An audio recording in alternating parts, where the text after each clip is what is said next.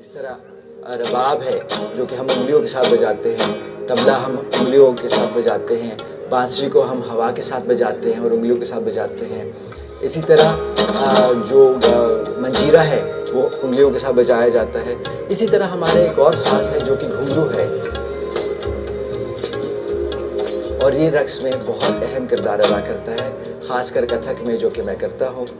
घुंघरू भी उतना ही काबिल इज़्ज़त है, काबिल तज़ीम है जितना कि रबाब है, जितना कि गिटार है, जितना कि हारमोनियम है या जितना कि चंग है।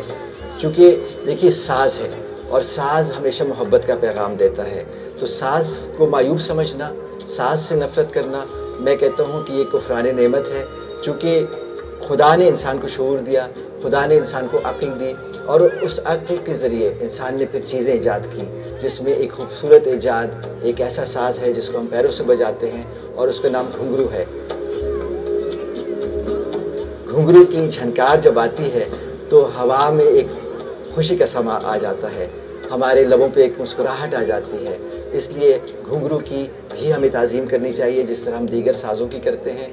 चूँकि इसके बगैर कथक अधूरा है, इसके बगैर रक्स अधूरा है, इसके बगैर हमारी ज़िंदगी अधूरी है।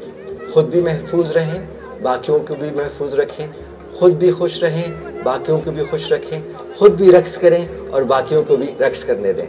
बहुत शुक्रिया नवाजिश मौलाना रूमी ये भी फरमाते हैं कि खुदा तक पहुँचने के लिए